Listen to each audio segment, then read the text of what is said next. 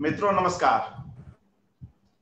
जैसा कि आप जानते हैं जन सुलभ पुस्तकालय के फेसबुक पेज से इन दिनों मनु भंडारी जी पर एकाग्र का आयोजन किया जा रहा है।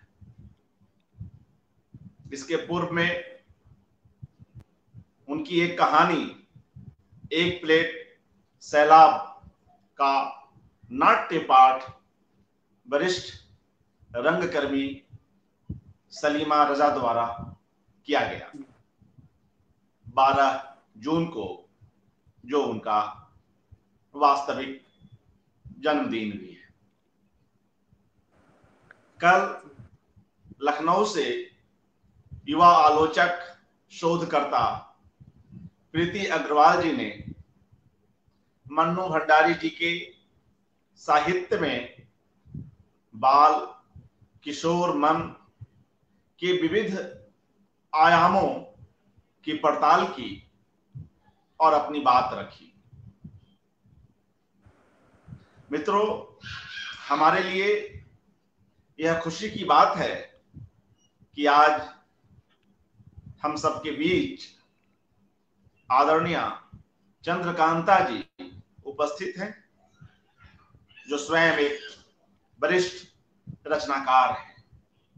कई विधाओं में आपका लेखन है। चंद्रकांता जी, आप इस कड़ी में उपस्थित हुई। हमारे लिए कुछ समय निकाला।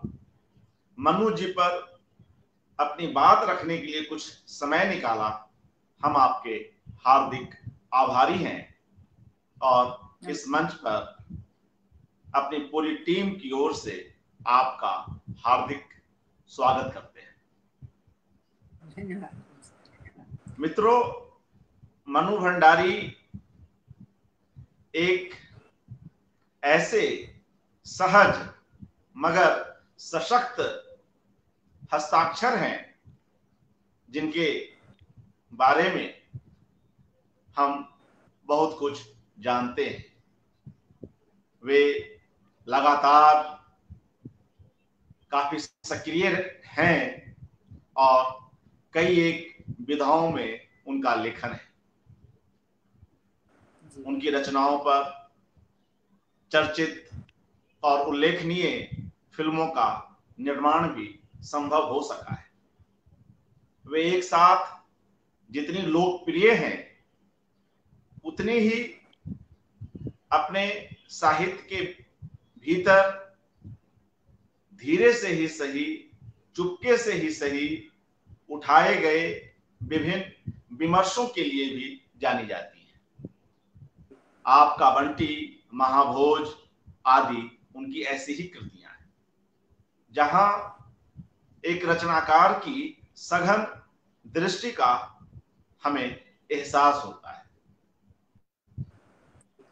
आज चंद्रकांता जी के बहाने हम यह भी समझेंगे कि एक रचनाकार अपने दूसरे रचनाकार को किस तरह हृदयंगम करता है और उसके जेहन में वह रचनाकार किस तरह उपस्थित होता है। चंद्रकांता जी की, मनु भंडारी जी के साथ किस तरह की मुलाकातें हैं, उनकी क्या बातचीत रही है, और दोनों रचनाकारों के बीच रचनाओं का जो पुल है, वह किस तरह का है? चंद्रकांता जी, जब मनु भंडारी जी से पहली बार मिलती हैं, उसके काफ़ी पहले वे उनकी रचनाओं से रूबरू हुई हुई है। ऐसे में जब हम किसी लेखक से मिलते हैं तो उस रचनाकार की हमारे भीतर जो छवि होती है, हम उस छवि के साथ मिलते हैं। कई बार हमारी वह छवि टूटती है, बनती है और फिर टूटती है। और कई बार वह छवि जो बनी होती है, शुरू में ही, आरंभ में ही, वह काफ़ी समय तक या कहें अंत अंत तक बनी रह जाती है। मैं जानता हूँ आप सभी लोग चंद्रकांता जी को सुनने के लिए बेहबल है। मैं भी आप लोगों की ही तरह उन्हें अधिक से अधिक सुनना चाहूँगा। चंद्रकांता जी, इस संवाद को आगे बढ़ाते हुए मैं आपसे यही जानना चाहूँगा कि जब आप मनु भंडारी जी से पहली बार मिली तो उससे पहले उनकी किन कृतियों से आपका परिचय हो रखा था? और जब आपका प्रत्यक्ष मिलना हुआ तो एक रचनाकार की अपने भीतर बनाई गई जिस छवि को लेकर आप गई थी, वहाँ आपने किस तरह की छवि पाई? चंद्रकांता जी। सबसे पहले आप सबको मेरा नमस्कार। अर्पण जी और सभी मित्र जो जुड़े हैं अभी तो देख नहीं पा रहे हैं सबको मेरा नमस्कार। मनु जी पर हम उनको मनु जी बोलते हैं बढ़िया उनका आदर सत्कार करते हैं। वैसे मनु जी पर को से मिलने से बहुत पहले मैं उनकी कृतियों से मिली थी। तब मैं हैदराबाद में थी। ये उन्नीस में मेरा लेखन वहीं से शुरू हुआ था। और उससे बहुत पहले मानू जी तो स्थापित हो चुकी थी। अब, आप ये सब जानते हैं कि मानू जी ने पच इक्यावन से शुरू किया था, पचपन के आसपास उनका लेखन शुरू हुआ था। उस वक्त ये स्वतंत्रता प्राप्ति के बाद से ही, थोड़े समय के बाद से उनका लेखन शुरू हुआ था। उस वक्त हमारे पास बड़े दिग्गज रचनाकार थे और आप तो जानते हैं, काफ़ी बड़े रचनाकार थे, भीष्म साहनी थे और आपका क्या बोलेंगे? अमृतलाल नागर थे यशपाल ये सब थे। और महिलाओं में तीन महिलाएँ, महिला लेखिकाएँ, वो पटल पर छाई हुई थी, आप कह सकते हैं। सबसे पहले उन तीनों में कृष्णा सोप्ती जी उषा प्रेमवदा और मनु भंडारी। ये तीन नाम सबके जबान पर थे। मैं सिक्सटीज की बात कर रही हूँ। तो ज़ाहिर हम पढ़ते थे, पढ़ना तो उनको था ही, उनसे हमने हमने चाहे ना सीखा पर युवा पीढ़ी ने ज़रूर सीखा है। हम जानते कृष्णा सोपती तो खैर बड़ी दबंग महिला थी, काफ़ी लिख चुकी थी उनसे पहले भी। जो उषा प्रेमदा भी जैसे मध्य वर्ग मुझे लगता है ज़्यादातर उन्होंने मध्यवर्गीय जीवन ले लिया है। मनु जी ने भी मध्यवर्गीय समाज, परिवार की जो स्थितियाँ हैं, जो बदलाव का दौर शुरू हो रहा था। जो शिक्षित महिलाएँ थी और जो आर्थिक रूप से स्वतंत्र थी, उनमें जो बदलाव आ रहा था, उसकी कहानियाँ हैं ये। एक तरफ़ परंपरावादी आप कह सकते शब्द जरा स्थिरीभूत मान्यताएँ, वो थी। और दूसरी तरफ़ से बदलाव की प्रक्रिया शुरू हो गई थी। तो उस समय मनु जी को पढ़ना हमें बड़ा अच्छा लगा, क्योंकि हमने कई बाद में भी अस्सी तक तो मैं हैदराबाद में थी। तो तब उसके बीच काफ़ी उन्होंने लिखा था, आपका बंटी था, आपका बंटी तो बहुत ही प्रसिद्ध हुआ था। कहानियाँ तो बेशुमार थी उनकी। और एक कहानी तो मुझे बहुत पसंद आई, जिस पर आप जानते हैं, फ़िल्म भी बनी थी, रजनीगंधा नाम से। ये भी सच है। तो वो भी बहुत प्रिय कहानी है हमारी। तो काफ़ी कहानी और भी घुटन का उन्होंने कई चीज़ें दिखाई हैं। तो वो खैर मैं बाद में हम बात करेंगे। अभी मैं आपसे ये कहना चाहती हूँ, कैसे मैं उनसे मिली? पहले बैकग्राउंड तो था मेरे पास काफ़ी कहानियाँ थी, आप बंडी था महापुरुष तो थोड़ा सा बाद में लिखा गया, पर वो सब चीज़ें थी, कहानियाँ तो बेशुमार थी। तो मन में एक छवि थी कि महिला कैसी है? क्योंकि देखा नहीं था मैं। हैदराबाद में तो सवाल ही नहीं उठता, वो थी भी नहीं वहाँ मैं अस्सी के दौर में दिल्ली आ गई। तो दिल्ली में मैं कई संस्थाओं से जुड़ गई। एक नरेंद्र कोहली थे, वो भी बेचारे गुजर गए। उनकी संस्था थी लेख, लेखक मंच नाम से, विनोबा मंडल नाम से एक मंच खोला था, ग्रेटर कैलाश में। मैं भी ग्रेटर कैलाश में रहती थी, वो भी, वो एस ब्लॉक में थी, मैं ई ब्लॉक में थी। तो वो हमारे पास आए, बोले हमें हमसे जुड़ो। तो मुझे अच्छा लगा जुड़ना, क्योंकि नई थी। तेरह साल हैदराबाद में बिताने के बाद। तो उस, उसमें मुझे ध्यान है कि वहाँ मैं मिली क्योंकि भीष्म जी भी आए थे उसमें, भवानी भाई भी आए थे, शायद मनु जी भी आई थी। पर वो कहानी वानी, कहानी उनने सुनाई नहीं थी, पर चर्चा की थी उन्होंने। बाद में थोड़ा सा ऐसा हमने सुना, उन्हें तो बहुत ज़्यादा आत्मीय मुलाकात नहीं हुई थी मतलब परिचय इस तरह का नहीं हुआ था। पर मैं उनसे पहली बार मिली दिनेश नंदिनी डालमिया के घर में दिनेश नंदिनी डालमिया खुद बहुत बड़ी रचनाकार थी। उनका भी अपना एक संस्था थी रिचा नाम से। हम भी जुड़े थे उनसे। तो वो वहाँ पर निर्मला जैन आती थी, नाम सिंह जी आते थे, काफ़ी बड़े रचनाकार भी आते थे। तो मुझे वहीं पर पहली बार मैंने इसको मनु जी को देखा। मनु जी, पहले देखने में जो छवि हमारी बनती है ना, वो छवि तो एक मज़बूत छवि होती है हम चाहते हैं इसको रचनाकार तरह देखें। चंद्रकांता जी? जी जी। निवेदन है थोड़ा ऊँचा बोले आवाज़ कुछ कम आ रही है थोड़ा ऊँचा बोले कृपया। लग रहा है मुझे लगाना पड़ेगा कोशिश करूँ उसके बिना चल जाए। नहीं आप ऐसे ही बोले थोड़ा सा ऊँचा बोले जी। ओके तो पहली मुलाकात जब दिनेश नंदी के घर में हुई तो मुझे बड़ी सहज और आत्मीय लगी वो। उनमें ऐसा कुछ भी नहीं था जरा दम सा होता बड़े रचनाकार हैं ऐसा कोई तेवर था ही नहीं। तो बल पहले पहले तो थोड़ी पारिवारिक बातें हो गई तो बाद में थोड़ा रचनाओं के बारे में दो चार बातें हुई, बहुत ज़्यादा नहीं हुई। पर पहला जो प्रभाव होता है, मुझे लगता है वो स्थायी प्रभाव होता है। वो प्रभाव बहुत अच्छा लगा मुझे। मुझे लगा, अरे, इतनी सहज है, इतनी सरल और आदमी है। बिल्कुल तेवर नहीं, किसी तरह का नहीं। तो ये मेरी पहली उनकी छवि जो मेरे दिमाग में थी। बाद में कई बार, क्योंकि मैं छः साल फिर दिल्ली में थी तो कई बार मिलना हुआ, संगोष्ठियों में हुआ संवाद नाम से कुछ मंसल की गोष्ठी उसमें भी एक बार आई थी। तो इस तरह से धीरे धीरे हमारी मुलाकातें बढ़ने लगी। तो मनु जी के बारे में जो मैं आपको कह, कहती हूँ उस समय जिस समय वो लिख रही थी वही पचपन के आसपास इक्यावन से उन्हें शुरू किया था शायद पचपन का तो पचपन में उनका एक कहानी संग्रह भी आया था। तो उस दौर में उस समय जो समाज की स्थिति थी वो बदलता हुआ समाज था। संक्रमण काल तो हमारे यहाँ कई आते हैं कहा आज भी संक्रमण काल ही है। पर वो आज़ादी के बाद जो जब महिलाएँ शिक्षित थी और आर्थिक स्वतंत्रता उन्हें मिली थी, नौकरियाँ करने लगी थी, घरों से बाहर आ रही थी तो उस वक्त परिवारों में एक अलग परिदृश्य था, एक अजीब सी तनाव की स्थिति थी।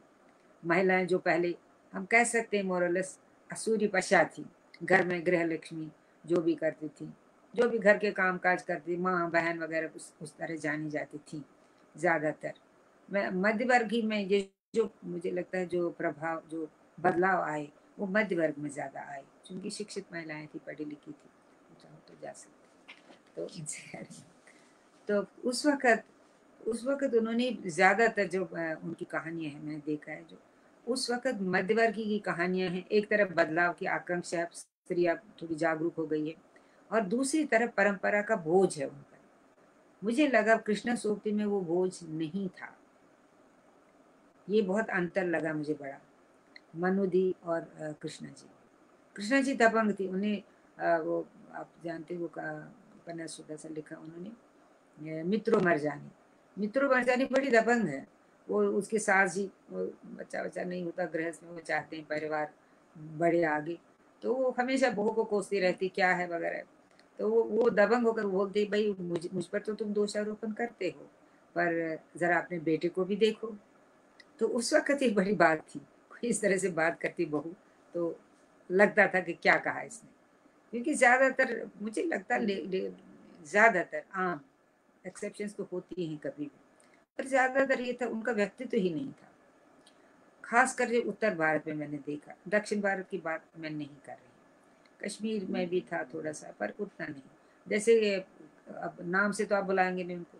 कोई होगी भानपुर वाली, कोई होगी कानपुर वाली ये कानपुर वाली है, ये वाली है। तो मुझे लगा को ये लेखिका को ये लग रहा तो भाई क्या है? हमारा भी तो कुछ कुछ तो हमारा भी व्यक्तित्व है, अस्तित्व है, कुछ हमारा तो मुझे लगता है उस वक्त तो व्यक्तित्व की लड़ाई थी, लड़ रही थी। वो जान, चाहती थी कि हमें भी माना जाए, एक मनुष्य की तरह देखा जाए, एक हमारी भी कुछ आकांक्षाएँ, इच्छाएँ हैं। हम ऐसे कोई मिट्टी का लौंदा तो है नहीं। आपने ये वाली, वो इसकी माँ, इसकी बहन, इसकी बेटी। तो मुझे लगता था उस समय था। बदलाव का दौर उसमें पहले व्यक्तित्व की लड़ाई, उसके बाद फिर अस्मिता के प्रश्न आए, उसके बाद वो अपने अधिकारों के लिए लड़ने भी लगे। तो मनु जी का जो था ज़्यादातर उस वक्त जो मैंने पढ़ा था, मुझे ज़्यादातर लगा उनका कि वो नई दिशा तो देना चाहती थी, वो स्त्रियों के पक्ष में थी, उनका स्त्री विमर्श थोड़ा अलग है, बाकी स्त्री विमर्श से अलग ही तो हम बाद में बात करेंगे। वो पढ़ी लिखी, मैं खास कर कहूँगी जो शिक्षित महिलाएँ थी और जो आर्थिक रूप से स्वतंत्र थी, वो कदम उठा रही थी। अब आपका बंटी आप ले लीजिए। उसने विवाह से शकुन संतुष्ट नहीं थी विवाह से तो उसने दूसरी शादी कर ली। ऐसी बात नहीं कि दूसरी शादी नहीं होती थी, पर साहित्य में इस, जिस तरह उन्होंने उसका वर्णन किया, उस, तमाम ओहापोह के साथ, वो मनु जी में एक बात है, वो बहुत गहरे जाती है स्त्री के मन में। अतल में क्या हो रहा है उसकी उसकी आंतरिकता में प्रवेश करने की, उनकी बहुत अद्भुत शक्ति है। ये मैं बहुत बहुत सहजता से, हालाँकि वो कोई दम्भ नहीं करती, वो बड़े नारे भी नहीं लगाती, बल्कि एक बार उसे प्रश्न उठा था कि आपका बंटी के बारे में एक बार यहाँ बताऊँगी कि हमारे यहाँ एक संस्था है दिल्ली में, अभिव्यक्ति नाम से, वहाँ भी उन्होंने, हमने उनको बुलाया था एक दो बार। तो वहाँ भी आपके बंटे पर प्रश्न उठे। किसी ने पूछा सदस्य ने, आपकी ये जो शकुन तो बड़ी बोल्ड है एक तरह से कि उसने दूसरा विवाह किया और बेटा था, तनाव तो थे बेटे और तो ज़ाहिर है बेटे को तो बाप भी चाहिए, माँ भी चाहिए तो वो तनाव तो उसके बाद वो खुश क्यों नहीं रही? क्योंकि उस शकुन के द्वंद्व भी बहुत है। हम उस पर मनोज जी ने कहा, मैंने कहा बेटे के, ज़्यादा लोग बेटे के पक्ष में थे। बेटा, ज़ाहिर है वो अपने पिता को मिस कर रहा था। तो उसने कहा, आपने ये तो कहा, बेटे को तो देखा, पर आपने शकुन की मानसिक स्थिति नहीं देखी। उसको ठीक है, हो सकता है उसको थोड़ा सुख मिला हो, क्योंकि जो पहला, जो उसने भोगा था, वो दाम्पत्य संबंध में जो कुछ तनाव थे, उससे वो मुक्त हो गई, पर वो खुश क्यों नहीं रही? ये प्रश्न बड़ा था, उसके उत्तर में उन्होंने कहा उन्होंने कहा, देखो, तुम ये मत भूलो कि मैं किस समय में लिख रही थी। रचनाकार जो रचनाएँ होती वो समय का साक्ष्य भी होती है। ठीक है उसका पुनरावलोकन भी करते हैं वो उसका परीक्षण भी करते हैं पर वो उसमें झूठ क्यों कहें? वो कहते हैं अगर उसको बड़ी क्रांतिकारी स्त्री दिखाते बड़ी बोल्ड उसको कुछ ठीक है उसने डिसीज़न लिया तो लिया उसको द्वंद नहीं है मन में ऐसा नहीं हो सकता था। वो कर, उसने कहा कि अगर मैं ऐसा लिखती तो वो झूठ होता और मैं झूठ नहीं लिखना चाहती। ये बड़ी अच्छी बात लगी मुझे उनकी। उन्होंने द्वंद्व दिखाए हैं तनाव दिखाए हैं स्त्री कदम उठाती है, पर तब भी तब भी उसको थोड़ा अंदर से, क्या है वो? कहते वो कुछ है जो उसको सालता है। उसको लगता है शायद ये ठीक हुआ या ना हुआ। वो तनाव है उसके बीच में। वो बोले, मैं उसको नहीं, बहुत क्रांतिकारी नहीं दिखा सकती। कि मुझे देखना मैं किस काल में लिख रही हूँ। ये बात मुझे ठीक लगी। उन्होंने ऐसा नहीं कि खाली यथास्थिति का ही वर्णन किया है। कल्पना भी तो होती है, रचनाकार के पास तो कल्पना का बहुत बड़ा साम्राज्य होता है एक तरह से। पर मुझे ये लगा कि वो बहुत गहराई से स्त्री मन में मन में झांकती है और जो भी बदलाव है, देखिए उनकी कृष्ण को एक कहानी है। उसमें भी देखिए, समाज बदल तो रहा है, स्त्री भी बदल रही है। वो बदलना चाहकर भी वो कुछ पुरानी जो मान्यताएँ उनको उसके दिमाग पर इतनी हावी हैं, वो उसको आसानी से छोड़ नहीं पाती। त्रिशंकु में जो बेटी, ये जो तो आपको मालूम है, कहानी मित्रों के साथ मिलती है। पहले उसको लगा वो ये दोस्तों के साथ क्यों इतना जाती क्या करती है? फिर कभी उसको लगता है, नहीं, समय बदला है, मुझे इनको थोड़ी आज़ादी देनी चाहिए बच्चों को। उनको बड़ी उदार होकर। वो देती है, उनको बुलाती भी घर बुलाती है लड़कों को। तो वहाँ भी उसको एक तरह से तो एक तरफ़ से वो अपनी उदारता दिखाती है। दूसरी तरफ़ से उसके मन में शंका है, ओहो, पता नहीं ये कुछ क्या कर रहे हैं? प्रेम होगा आपस में? क्या होगा? कैसे होगा? तो ये मन में जो दुविधाएँ हैं, माओ के मन में वो गई नहीं थी। तो कई बार ऐसे मौके बल्कि बेटी कहते, कहती, माँ, तुम चाहती क्या हो? कभी तुम उसको बुलाती हो घर, और आदर, सत्कार भी, प्यार, मनोहार भी करती हो, कभी मुझे मना करती हो, देर से क्यों आई, वो क्यों आई, उधर क्यों गई? क्या है, तुम चाहती क्या हो? पर ये द्वंद्व उन्होंने दिखाया। है कभी आना, कभी बुलाना, फिर देखना अच्छा अब वो बातचीत करती, क्या बात कर रहे हैं? तो ये सब चीज़ें हो, होती हैं समाज में, आज भी होती तो इनका बहुत बारीक अंकन उन्होंने किया है। बहुत ही रोचक, त्रिशंकु। वो लटकती हैं त्रिशंकु की तरह, कभी इधर, कभी उधर, कभी इधर, कभी उधर। चाहती हैं आगे बढ़ना, बढ़ती भी हैं, पर वो मन पीछे ही हटता है। क्या ठीक है, क्या गलत है? बल्कि बेटी, वो कहती है लड़की क्या तुम तो सब कुछ मेरे लिए खुद ही डिसाइड करोगी? मुझे भी तो कुछ निर्णय लेने दो। तो ये समय था उदंत का समय उस वक्त। जो हमें लगा था और जो इनमें दिखाई पड़ता है। उन्होंने बहुत बहुत एक्चुअली पारिवारिक और दाम्पत्य जीवन की पारिवारिक भी और मुझे लगता है स्त्री के मन में जो जो कहते हैं ना उस वक्त वो शायद, हम मानते वो पुरानी बातें आप छोड़िए, सुल्ताना का सपना अपने, वो सपने में देखती थी, पर ये रियलिटी में देखती हैं, पर उसके साथ वो कदम पर कदम चल नहीं पाती। उसका मन कहीं और है। क्यों है? एक तरफ़ आगे जाना चाहते हैं और एक कदम पीछे। तो वो बड़ी द्वंदात्मक स्थिति उनके खास कर मैंने मानोदी में देखी हैं ये। वो बहुत चाहती हैं। अब उनकी कहानी लीजिए आप जिस पर रजनीगंधा फ़िल्म भी बनी ये भी सच है। अब देखिए प्रेम प्रेम बेस, बेसिकली वो प्रेम कहानी मुझे लगती है। वो रहते क्या नाम है उनका अभी ध्यान नहीं आता मुझे। उनका संजय नाम है शायद हाँ संजय। उनके साथ वो रहती हैं लड़की। अब समय थोड़ा बदल गया, उनके साथ वो रहती हैं, प्रेम भी करती हैं। तो पर दो व्यक्ति जो होते हैं, स्त्री भी व्यक्ति ही है तो वो उनके अलग स्वभाव अलग होते हैं, तरीके अलग होते हैं। तो मेल नहीं खाते। अब स्त्री चाहती उसके मन में, वो चाहती उसका वो जो होने वाला पति, अभी पति बनना नहीं है वो। तो हमेशा ऑफ़िस की बातें करेगा, बहुत व्यस्त रहता है। वो उसको, जो चाहती है स्त्री, वो उसको नहीं, एक रिक्तता एक खालीपन उसको लगता है। उसका तब मैं इसके साथ रहती हूँ, पर मैं कितना इसके पास हूँ। वो अपनी दुनिया में मस्त है, आज ये ऑफ़िस का काम, वो है ये आज वेटिंग आज, वो है ये। तो वो वो भी अपना काम करती हुई रिसर्च वगैरह भी करती है। तो ऐसे ही मैं दिखाते हैं, वो द्वंद बड़ा रोचक लगा मुझे। और लग रहा कि सचमुच ऐसा ही होता उनके मन के कोने में घुसी है ये मनोदीप। तो फिर वो दिखाते इंटरव्यू होता है कलकत्ता में, जाती है इंटरव्यू तो इसकी इस लड़की के लड़की का पहले एक और प्रेम प्रसंग हुआ है। प्रेम करती थी वो एक लड़के से। तो ये जो दूसरा है जिसके साथ हो रहेगा उसका कभी ताने भी मारता अच्छा अच्छा तुम वहाँ जाओगी तो वो भी वहाँ होगा। तो ये कहते नहीं नहीं, मैं उसको नफरत करती हूँ उससे। उसने मुझे धोखा दिया, कुछ इस तरह। तो वो समझती है, मैं उसे नफरत करती वो समझती है, मैं उसको भूल गई हूँ। पर क्या वो सचमुच उसको भूल गई है? क्या मनुष्य सचमुच ऐसे भूल जाता, पहले प्रेम को भूल जाता जल्दी? नहीं भूलता तो ये बात मनुदी ने भी लिखी है, जब वो कलकत्ता जाती है तो बल्कि वो संजय कहता भी है, वो वहाँ मिलेगा, वो तुम्हारी मदद करेगा। ये कहते नहीं नहीं, उसकी बात मत करो, मैं चाहती ही नहीं उसकी मदद लेना फिर वहाँ जाती है बाई चांस वो काफ़ी कहानी है, वो इरा आती है उनके साथ, वो किसी तरह वो उसको देखती है। वो वो लड़का, नाम क्या नाम याद नहीं आ रहा है अभी। तो खैर जो भी है। तो वो मिलता है उसे, मिलता है, वो बड़ा खुश होता है उसको देख कर कहता है अच्छा पूछता है कैसे क्या है? उस वक्त नहीं दिखा, वो ये दिखाती हैं कि लड़की के मन में एक, एकदम से थोड़ा सा क्योंकि पुरानी स्मृतियाँ हैं, वो आती हैं, पर वो दिखाती नहीं, वो चाहती उसको अवॉइड करना, पर वो किसी न किसी तरह उसे मिलता रहता है, किसी न किसी पर छोटी छोटी मुलाकातें, उसमें कुछ गहरा गंभीर नहीं लगता तब तक बाद में वो इंटरव्यू वगैरह देती है तो निकलने वाली होती है। उस वक्त वो उसको छोड़ने आता है स्टेशन पर। स्टेशन पर छोड़ने आता है। एक मित्र की तरह पर वो हम दिखाया नहीं कुछ ऐसा, प्रेम में कुछ, प्रेमी वार्तालाप वगैरह उस तरह का नहीं है।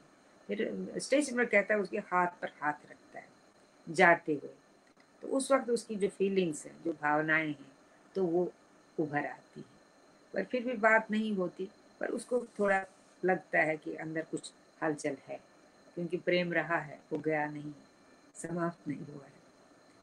खैर वो तो कहानी तो आगे बढ़ती फिर जब वो वापस आती है थोड़ा इसमें और भी दिखा है बातचीत वगैरह भी करते हैं तो, तो लगता है कि इसकी भावनाएँ फिर से लौटने लगी उसे लगता ही अपना तो जितना इसमें था उतना संजय में नहीं है। वो मन ही मन कंपेयर करने लगती है।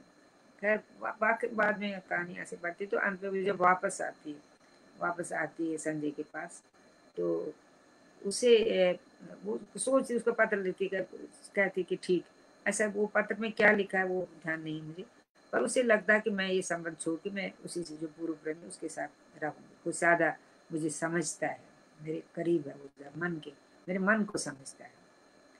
पर वो क्या देखता है जो पत्र, वो आती है, पत्र पता नहीं, ये नहीं पता, वो मिलता है उसे कि नहीं मिला। पर वो डाकखाने में तो डाल देती है वो पत्र।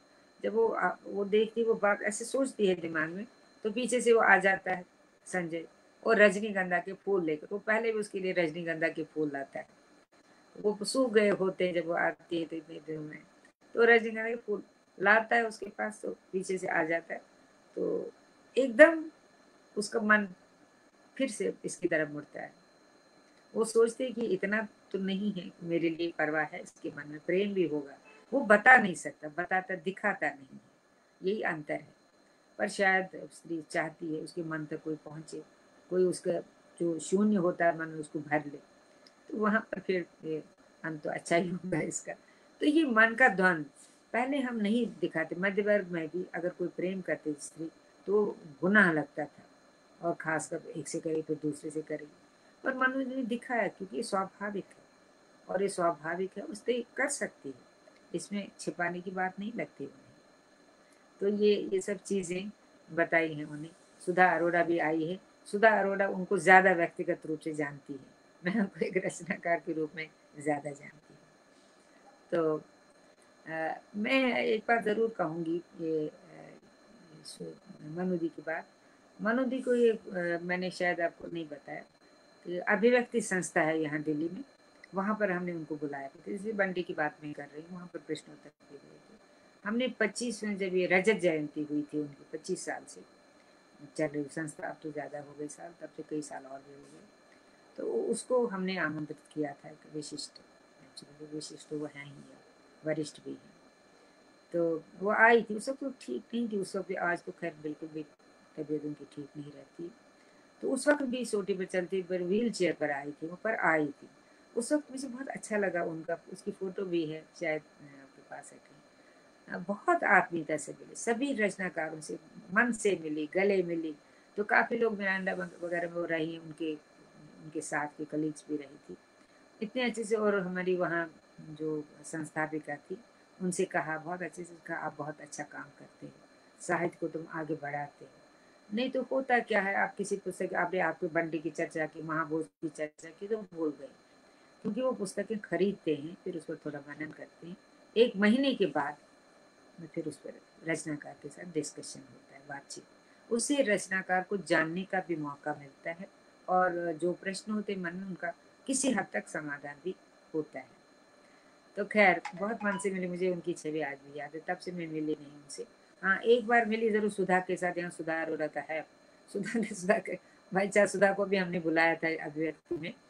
तो बाई चांस वो मेरे पास अटक गई थी एक आध दिन। तो हम वो और मैं दोनों मनुदी के घर गए। घर नहीं गए थे, उनकी बेटी रहती है वो गाँव में। तो उनके पास हम गए थे। उस वक्त भी वो बड़ी सब एक बात मैंने देखी उनमें, वो बहुत ज़्यादा नहीं बोलती। कम से कम मेरा इतना नहीं है कि बहुत संवाद करती रहूँ, लंबी चौड़ी बहसें करूँ।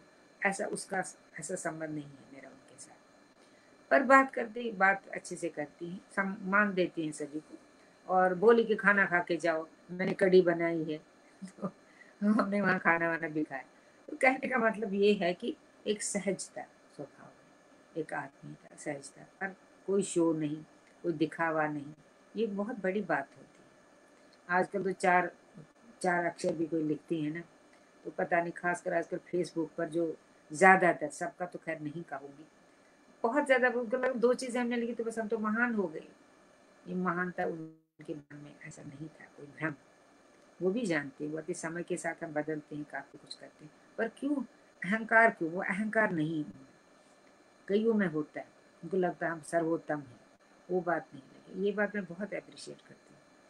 आपको एक बात और बताओ जो जो इम्प्रेशन मेरे मन में ये आ, 2005 की छः की बात है। हाँ सूर्य वाला भी आ गई है। 2006 की बात है जब हमें सम्मान मिला था। दो साल का था, एक एक साल का मृदुला को मिला था, दूसरे साल मुझे फ़ंक्शन एक ही दिन था। जब मुझे यह सबसे पहले मनोदी का फ़ोन आया, ऐसा बहुत, मैंने कहा ना, आपसे बहुत ज़्यादा आवन जावन हमारे यहाँ नहीं थी।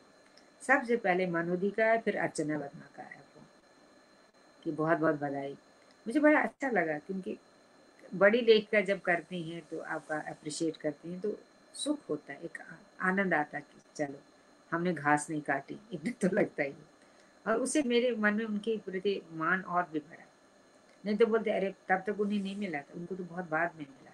हालाँकि ये बड़े अजीब सी बात है बड़ी लेखिका है, है वो उनको पहले मिलना चाहिए था। पर जैसा है उसमें हम कोई टिप्पणी नहीं कर सकते। पर बाद में उनको मिला। और उस रचना पर मिला जो वो एक कहानी ये भी कुछ नाम से ये भी एक कहानी ये भी नाम से। वो तो उससे बड़ी बड़ी रचनाएँ महाभोज पर मिलना था, आपके बंटी पर मिलना था या और कोई। खैर, ये अलग पुरस्कार की रीति नीतियाँ इसमें मैं नहीं जानूँ पर वो पुरस्कार के बिना भी पुरस्कृत थी, क्योंकि लोगों के मन में बसी थी। उनकी रचनाएँ बहुत, उनके पता नहीं कितने कितने एडिशन हुए हैं। आपके बंटी हो या आपकी कहानियाँ हो, कोई भी चीज़ हो। कहानियाँ तो बहुत पसंद की जाती थी। एक कहानी उनकी स्त्री बोधिनी वो भी मुझे बहुत पसंद है। घुटन। घुटन एक कहानी किस प्रकार घुटती हैं परिवारों में, महिलाएँ, लड़कियाँ? तो वो भी उन्होंने दिखाया है, बहुत अच्छी तरह से। अकेली एक कहानी है। एक वो, वही संबंधों में जो, संबंधों के तनाव, संबंधों की जो आयरनियाँ होती हैं, जो डीप मन में जो आप कहते हैं ना, गहरा गड्ढा होती है, उन पर वो पहुँचती है।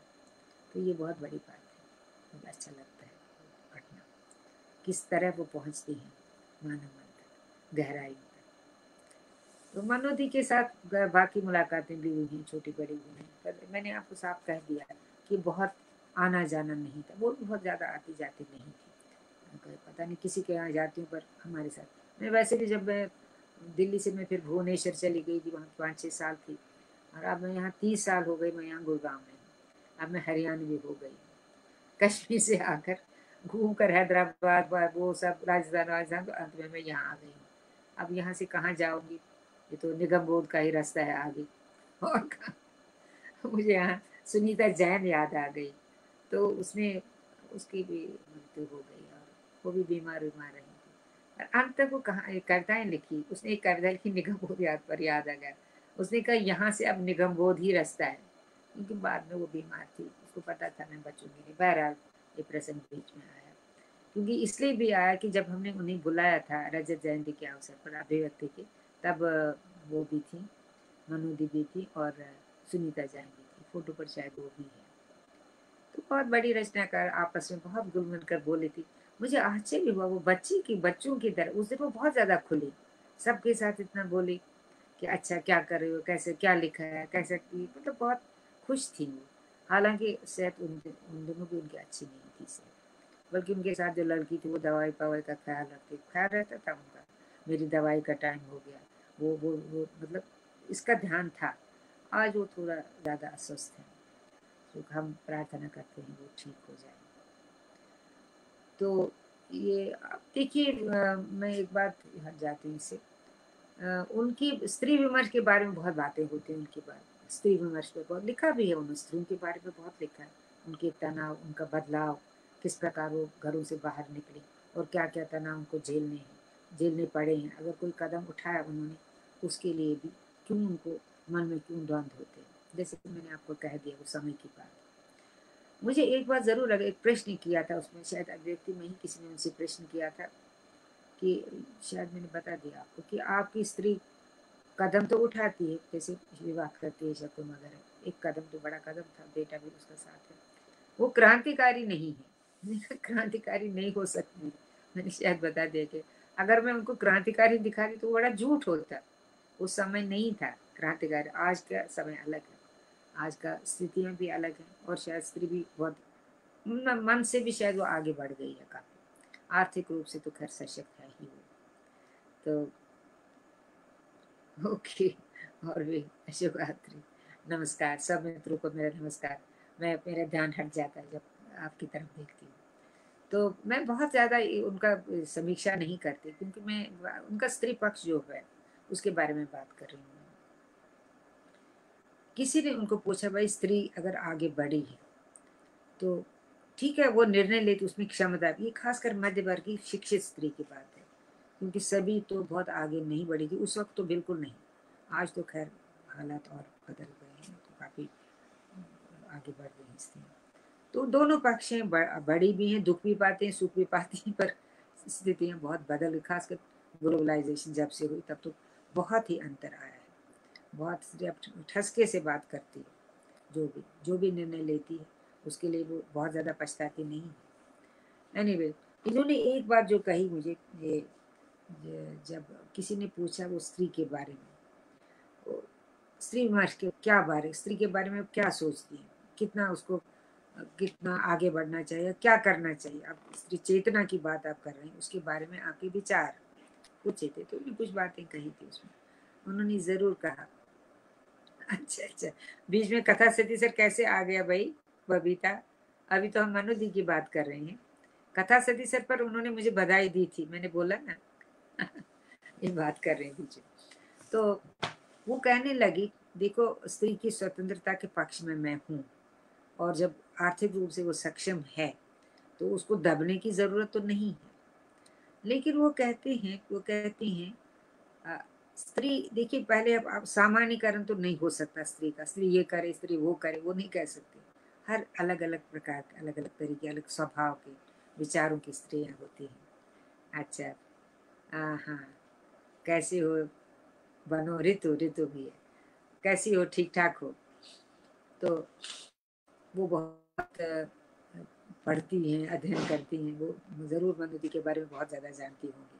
उसको पकड़ लीजिए बोलिए, बहुत अच्छी समीक्षा तो मैंने, मैं यही कहती जो उन्हें उत्तर दिया, उन्होंने कहा स्त्री को मैं मानती हूँ, सशक्त है, वो स्वतंत्र भी है, लेकिन मैं उसको, जैसे हम कहते हैं ना, पिछला जो है, वो तो गया, वो बेकार था, सब ठीक है, वो कुछ नहीं था स्त्रियाँ ऐसे ही थी दबी गुटी हुई थी, वो है। ये कहती, परंपरा से भी हमें कुछ ग्रहण करना चाहिए। आज भी वो मानती है कि परंपरा, जैसे हम कहते हैं परंपरा एक, कोई ठहरा हुआ ताल नहीं है, एक स्रोतस्विनी है।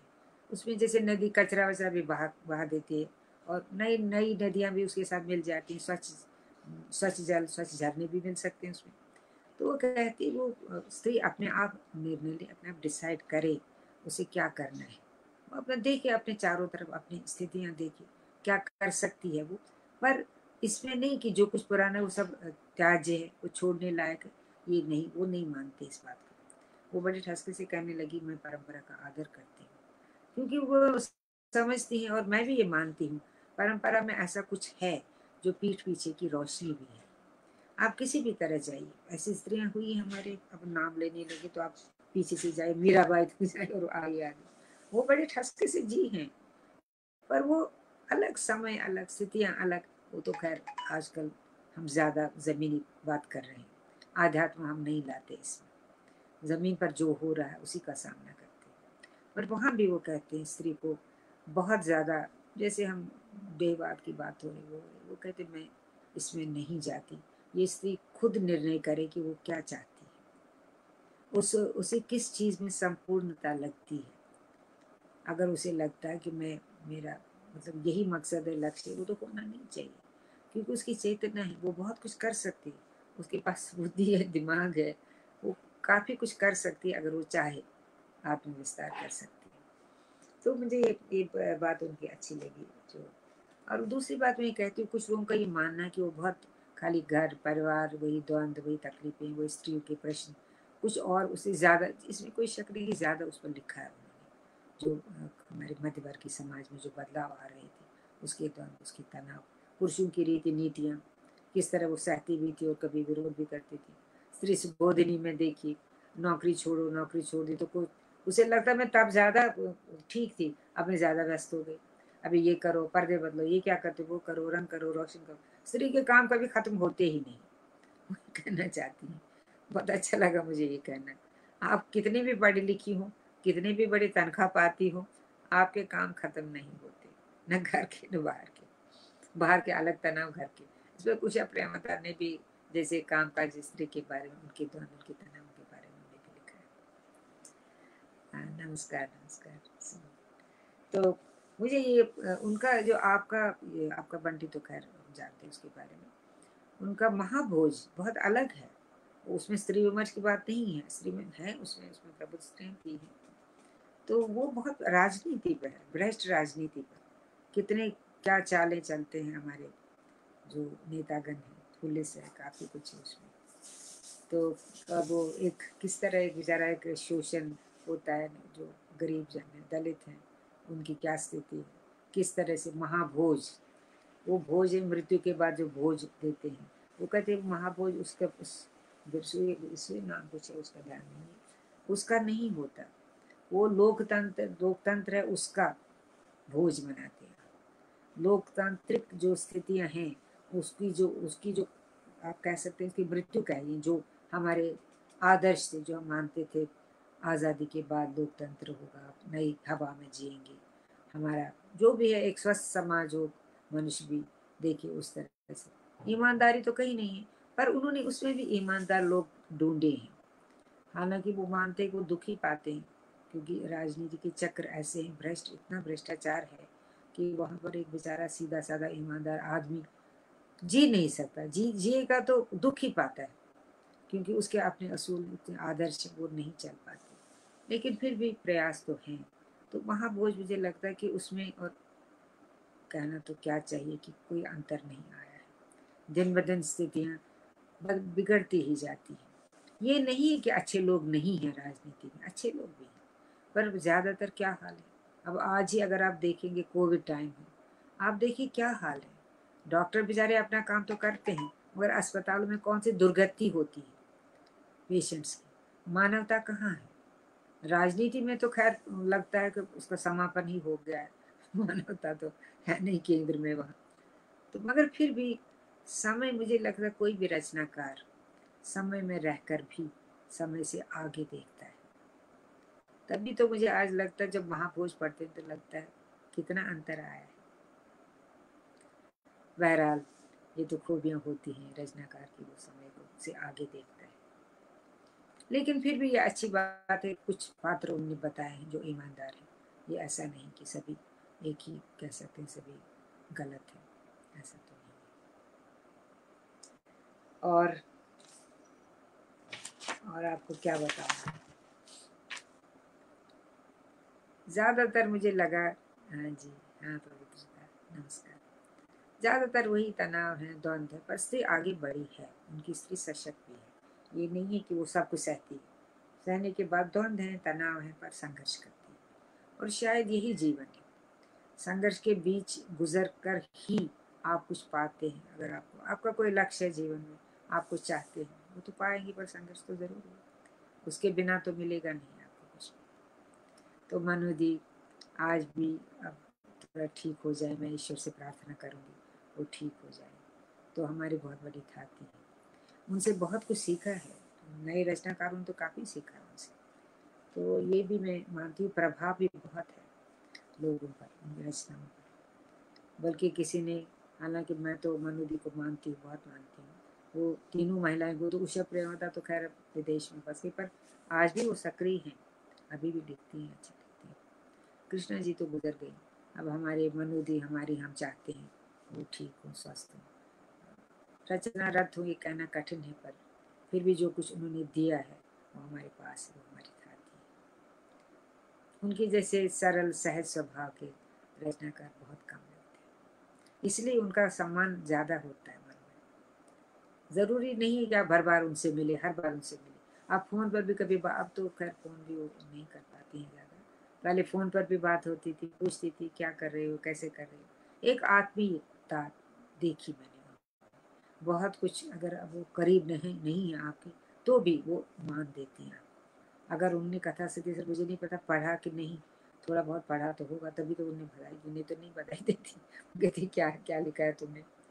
तो सम्मान देना एक बड़े रचनाकार, अगर दूसरे रचनाकार को, जो उनसे उम्र में भी छोटा है तो थोड़ा सा खैर, बहुत ज़्यादा फ़र्क नहीं हमें। हम भी बड़े हो गए, वरिष्ठों में आ गए हैं। तो फिर भी हम उनका सम्मान करते हैं और प्रार्थना करते हैं वो स्वस्थ हो जाए, ठीक रहे। और मैं समझती हूँ, मैं समीक्षा तो करनी नहीं है मुझे। थोड़े उनके विचार, जो मैंने उनसे बात, मुलाकातों के दौरान उनसे बात हुई, उसी के बारे में बात करूँगी। और कोई अगर कुछ प्रश्न पूछना चाहते हैं तो पूछ सकते हैं घर घर ही तो नींव है। घर की समस्याओं से रूबरू होना बहुत वो तो है। मनोज जी की यादें हम, हमसे बांटने के लिए थैंक यू घर घर परिवार को ही उन्होंने लिया और संबंधों को लिया है। बदलते संबंध। क्योंकि देखिए अब पहले जैसे आप जानते हैं, अब हमारे, मुझे लगता है हमारे बचपन में भी ऐसा था कि स्त्रियाँ बहुत ज़्यादा नहीं बोल पाती थी। मुझे खुद अपना याद है कि हमारे पिताजी तो बहुत उदार थे प्रोफेसर थे। स्त्री शिक्षा के हिमायती थे। पर फिर भी घर में कुछ बातें थी जो लड़कियों के लिए मना है। वो नहीं करना है तुम्हें। क्यों मना है तब भी, हालाँकि मेरे पिताजी हमारे बहुत सुधारवादी थे और काफ़ी मान है उनका पूरा, जम्मू कश्मीर में बहुत मानते हैं तब भी कुछ थी, कुछ हमारे यहाँ कुछ रूढ़ होते हैं। वो एक शब्द ज़रूर अच्छा है, मुझे लगा स्त्री भूत है जो रुक गई है। वो हम पर छोड़ती नहीं है आसानी से हमें। तो पर धीरे धीरे उभरता है समय। आज तो बहुत बदल गया है समय। पर घर परिवार में सब कुछ सही सलामत आज भी नहीं है। पर प्रयास तो हो रहे हैं, लड़कियाँ, स्त्रियाँ आगे बढ़ गई काफ़ी। इससे भी इनकार नहीं किया जा सकता। एक जमाना से पल्लू हटता हमारे सास जी कहती थी, हम तो पति से बात भी नहीं कर सकते थे, दिन के उजाले में। जब तक शाम होती थी तब बात करते थे। पर वो सब तो नहीं है, वो दो पीढ़ियाँ गुजर गई, तीन पीढ़ियाँ तब से। तो समय बदल गया है। इसकी आहट आपको साहित्य में मिलती है। तो मुझे लगता है कि मनुष्य के बारे में, मनुष्य को पढ़ना ज़्यादा अच्छा है। प्रश्न क्या करना है? उनको पढ़िए। आप सचमुच आप कहते हैं ना कि साहित्य क्या करता है? समाधान तो नहीं देता। साहित्य आपको नई, ये शायद निर्मल वर्मा जी के शब्द है। वो आपको एक नई रोशनी में ले आता कम से कम आप देखते हैं, आप जानते हैं क्या है। बहुत अच्छा लगा मुझे। नई रोशनी इस तरह से भी है। आज के स्तर का, स्तर लेखन को किस स्तर पर देखें? आज की रचना, आज के लेखन को। भाई, लेखन तो हमेशा आगे ही बढ़ता है, वो ऐसा नहीं क्या पुराने जमाने की बात तो आप आज नहीं करेंगे। मनु जी की, मनु जी ने तो एक, मनु जी देखिए तब से काफ़ी बदलाव उन्होंने देखे। वो बचपन में से उनका शुरू होता सदा में शायद उनका पहला कहानी संग्रह था। और महाभोज वगैरह भी उन्हें लिखा है। ये नहीं कि वो वहीं तक सीमित रहे। और घर परिवार में भी जो बदलाव आए, वो उन्हें देखे। आप वही कहानी रजनीगंधा कहानी ये भी सच है। उसमें भी वो बोलते हैं, वो कहते हैं कि स्त्री के मन मन भी है। उनमें प्रेम करने की इच्छा भी है। और वो बताती भी है। वो छुपाती नहीं इसमें पहले छुपा देते ओहो, दोषी समझती थी, अरे, मैं कैसा है, मैं गलत कर रही हूँ तो उसको नहीं लगता गलत कर रही हूँ। तो स्वाभाविक है, प्रेम एक बड़ी स्वाभाविक सी चीज़ है। तो बहुत उसमें वो काफ़ी आगे भी बढ़ गई हैं तो। आज के लेखन पर मुझे लगता है क्या बात करनी लिखते हैं, बहुत समय बदल स्थितियाँ बदली हैं। लड़कियाँ नौकरी, नौकरियाँ करने लगी। परिवारों में भी दूर सम्मिलित परिवार रहे नहीं। तब सम्मिलित परिवार थे तो उनसे भी पूर्ण रूप से हाँ। तो सम्मिलित परिवारों में भी दरारें पड़ रही थी तब, क्योंकि बदलाव में हमेशा, क्योंकि एक तरफ़ से पुरानी मान्यता है दूसरी से नई हवा है तो टकराव तो होगा, द्वंद तो होंगे। उस द्वंद को बहुत अच्छे से व्यक्त किया मुझे लगता काफ़ी हद तक, कम से कम मध्य वर्ग कम से कम शिक्षित वर्ग, मैं नहीं कहूँगी आज भी बहुत कुछ होता है तो बहुत हालात बहुत ही खराब भी है स्त्रियों के लिए। वो सब मैं नहीं जाऊँगी। अब हम सब जानते हैं क्या है। बलात्कार, शोषण, घर, बार, ऑफ़िस, कहीं भी। पर मुझे लगता है अब स्त्रियाँ उनका सामना करने की शक्ति है उनमें। हाँ। हाँ संस्मरण किताब में। तो हस्तों के बारे में थोड़ा लिखा है मैंने, क्या है। मगर उनमें भी मेरे संस्मरणों में जो स्त्रियाँ हैं, पुरानी स्त्रियाँ भी हैं। और मेरी माँ भी बहुत पुरानी ही थी तो बहुत जल्दी गुजर गई। पर उनमें स्वाभिमान था बहुत पढ़ी लिखी नहीं थी। एक कोई कौन पूछता सुधा पूछती है। स्वाभिमान था मैंने उनकी बात कही भी शायद मेरे प्रश्न नहीं इसमें आ, क्या हाशी की इबारत है मैंने लिखा तीन स्त्रियाँ हैं माँ है और मेरी बहन है जो बहुत छोटी उम्र में गुजर गई और मेरी सास जी बड़ी दबंग महिला थी। और विश्वास कीजिए 100 से ऊपर साल 105 साल जी और बड़ी दबंग ठसक क्या सवाल ही नहीं उठता था कि घर में कोई उनका बात करने की हिम्मत ही नहीं थी उनके सामने। मैं तो बड़ी छुटपन में मेरी बचपन में शादी हुई थी चौदह मुश्किल से चौदह साल की थी मैं तो मेरी हिम्मत क्या थी? मैं बोल, बोल कुछ बात करती। उनके बेटे दो बेटे ईश्वर की कृपा से वो मेरे हस्बैंड तो बिल्कुल बात ही नहीं कर पाते थे उनके साथ। उनका अनुशासन था घर और उनकी बात आखिरी थी।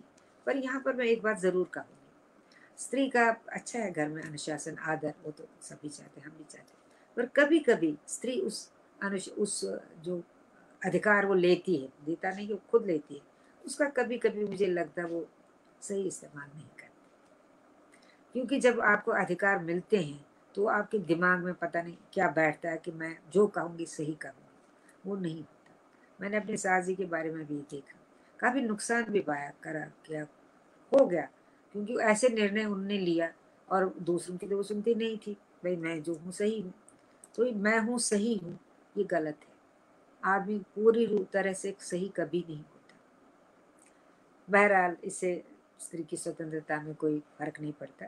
पर ज़रूर जैसे मनुदे ने कहा, मनुदे ने ज़रूर ये कहा कि उसको अपनी चेतना मन चेतना तो है ही, विचार भी है, बुद्धि भी है, उसे उसको थोड़ा सा सोचना चाहिए क्या सही अगर मैं कुछ कर रही हूँ, ठीक है, मैं अपने लिए अगर रास्ता प्रशस्त कर रही हूँ, क्या उससे दूसरों को तकलीफ़ होती है? जानबूझकर को तकलीफ़ नहीं देना चाहिए। पर यहाँ अगर आपके बंटे में शकुन ने शादी की तो वो उस स्थिति पर थी गुस्सा नहीं पाती थी, जो उसका दाम्पत्य, जो संबंध था, वो उस नहीं पा रही तो उसने निर्णय ले लिया। तभी शायद उसके द्वंद भी है, क्योंकि बच्चे के लिए भी मन में है कि उसका तो भाई, उसको तो पिता चाहिए। अपने साथ भी लेती उसको काफ़ी कुछ अपने पड़ा होगा आपका बनते तो द्वंद उसके थे, पर मुझे लगता आज उन द्वंद्वों से काफ़ी हद तक मैं नहीं कहूँगी द्वंद स्त्री लेखन के बारे में। के बारे में क्या जाना चाहोगी? स्त्रियाँ तो भाई बहुत आगे बढ़ गई हैं स्त्री लेखन स्त्री के लिए अब कोई भी क्षेत्र अछूता नहीं है। अब मनुदी ने भी जब स्त्रियों की बात कही तो उन्हें महाभोज भी तो लिखा ना, और उससे आगे तो हम बहुत बढ़ गए हैं। कथा सदी से तो मैंने लिखा है ना। और मुझे याद है रा, मैं राजेंद्र यादव जी के साथ उसमें संबंध में नहीं जाऊँगी वो उनका व्यक्तिगत था। राजेंद्र यादव जी के साथ जो संबंध थे मनु जी के उन्होंने पहले तो कभी नहीं कहे। हो सकता किसी मित्र के साथ बात कर मेरे साथ हमारे साथ नहीं। गोष्ठियों में संगोष्ठियों में कभी उन्होंने राजेंद्र यादव के विरुद्ध नहीं कुछ बोला। हालाँकि राजेंद्र यादव जी अब तो स्वर्गवासी हैं तो वो कभी कभी तो कुछ बातें वो कहते भी थे पर नहीं। पर बाद में ज़रूर जिन पर जिस पुस्तक पर उन्हें व्यास सम्मान भी मिला। एक कहानी ये भी, कुछ ऐसे इस तरह का शीर्षक है, ध्यान नहीं है मुझे। तो उसमें उन्होंने कह दिया, ये कहते हैं ना, जब आपका सहन शक्ति एक हद से ज़्यादा, जब आप कुछ बहुत ज़्यादा बोलते हैं, वो कहते हैं ना, उफनता है। दूध उबाल तो उफनता है। तो उबाल है उसमें। पर ये भी है, उसमें भी उन्होंने संयम बरता है। मनुदी की एक बहुत बड़ी खूबी है, उन्होंने संयम कभी नहीं छोड़ा है। बात उन्होंने कही है।